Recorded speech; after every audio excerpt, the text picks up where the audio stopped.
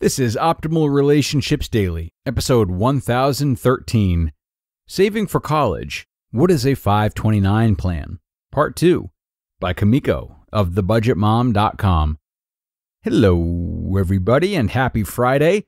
I am your host here on ORD, Greg Audino, and I'm excited to wrap up part 2 of yesterday's episode, courtesy of Kumiko from The Budget Mom. As I said, this is part two, so be sure to check out yesterday's episode if you haven't already.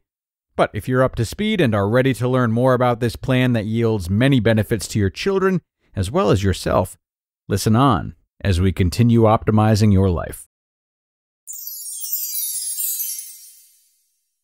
Saving for College What is a 529 Plan? Part 2 by Kumiko of thebudgetmom.com.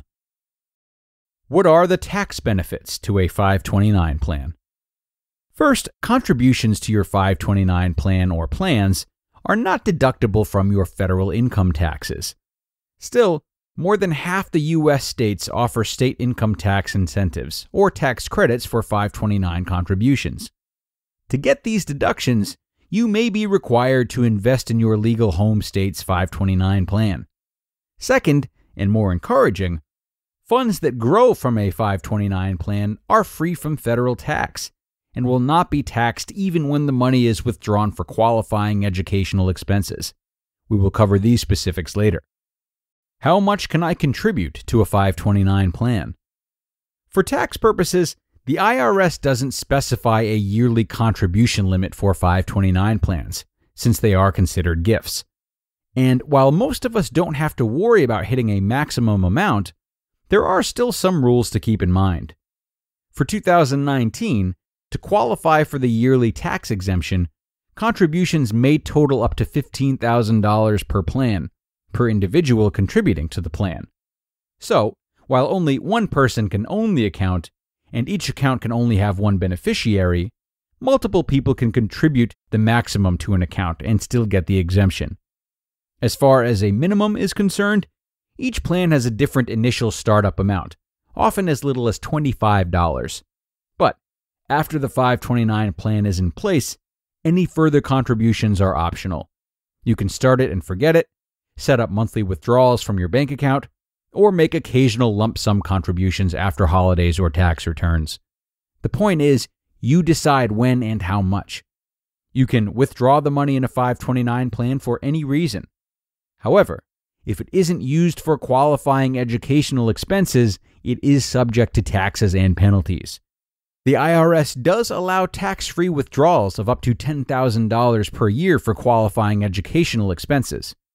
Either way, you will need to report withdrawals on your annual tax returns. How can a 529 plan be used?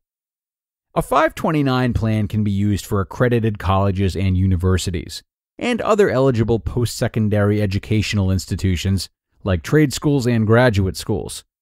Qualifying educational expenses include tuition, lab fees and equipment, books and supplies, computers and internet fees, room and board or rent. For on campus residents, room and board expenses are included, but cannot exceed what the college charges.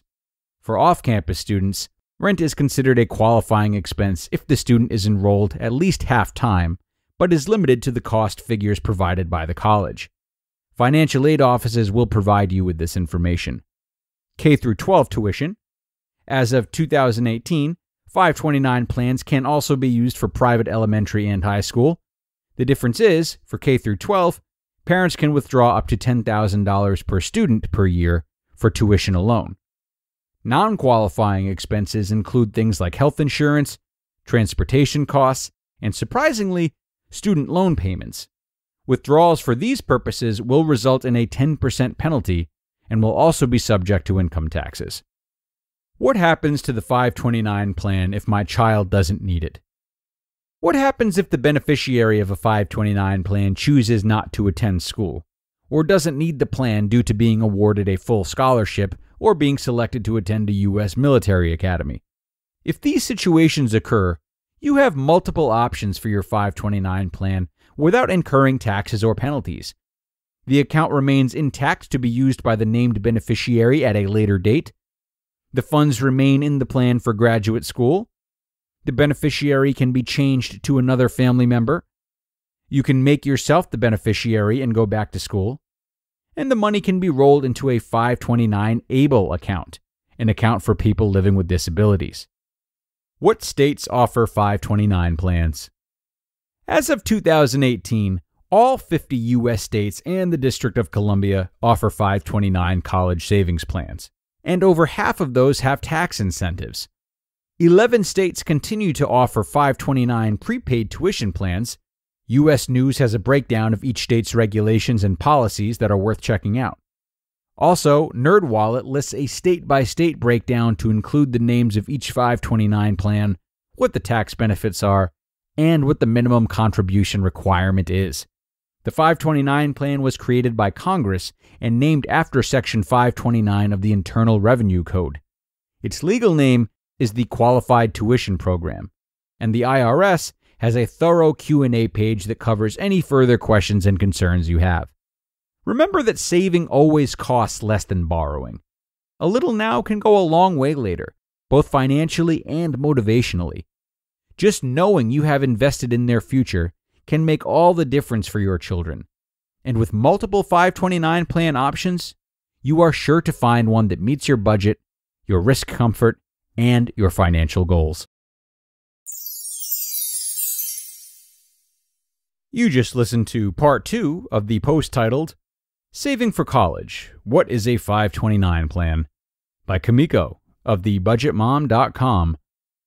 And everybody, we come to the OLD community to work on ourselves, right? We all want to do this, especially long term. But therapy can be expensive. Well, there is a new way to grow that we are really excited to be partnering with, and that's TatLab.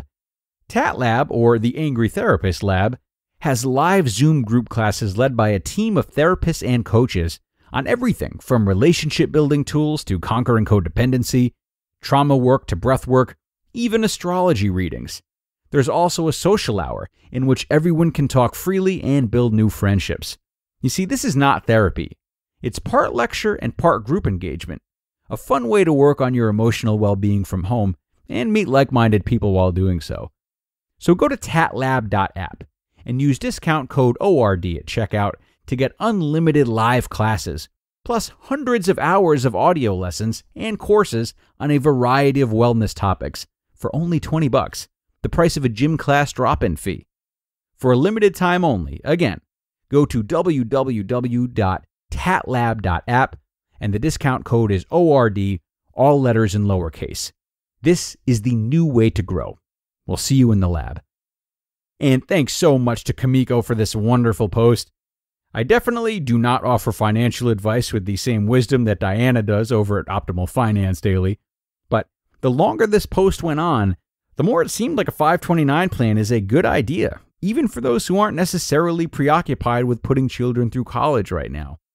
This is a really diverse and versatile investment that has a lot of opportunity should your children not go to college when planned, like Kumiko mentioned.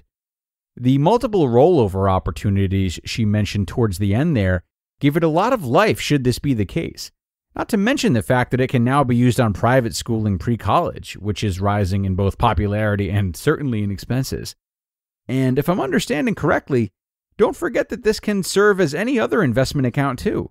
Surely there will be penalties in non education withdrawals, but especially if these withdrawals are taken out later or once the investment has earned a lot of money, you're likely still turning a profit, not to mention building a great saving habit for yourself, as well as modeling one for your children.